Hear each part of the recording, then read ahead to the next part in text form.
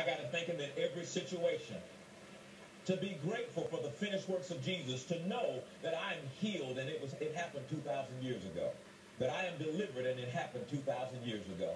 That I prosper and I'm sound and it happened 2,000 years ago. And today I celebrate the finished works of Jesus, knowing that it's already done, that I'm not thanking God for something that he will do. I'm thanking God for something that he has done, and I begin to rejoice. And what he is saying in chapter 9 is, when you give, you give out of appreciation for what has been done for you. You give thanking him for what he has done for you. My giving is an expression of thanks. It's an expression uh, uh, that I appreciate him for all he has done. And what has he done for me? Watch this. Everything. You don't hear me. You don't even realize you're sitting here inhaling and exhaling because of Jesus.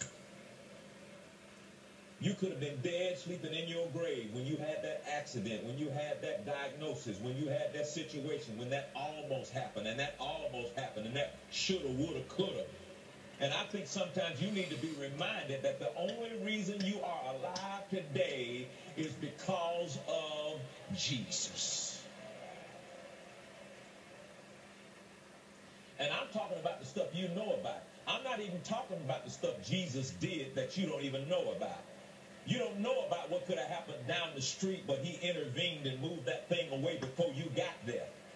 You don't know about that you had a disease, but when you went to the doctor, he moved it out the way so nobody would see it because he wanted you to be in peace.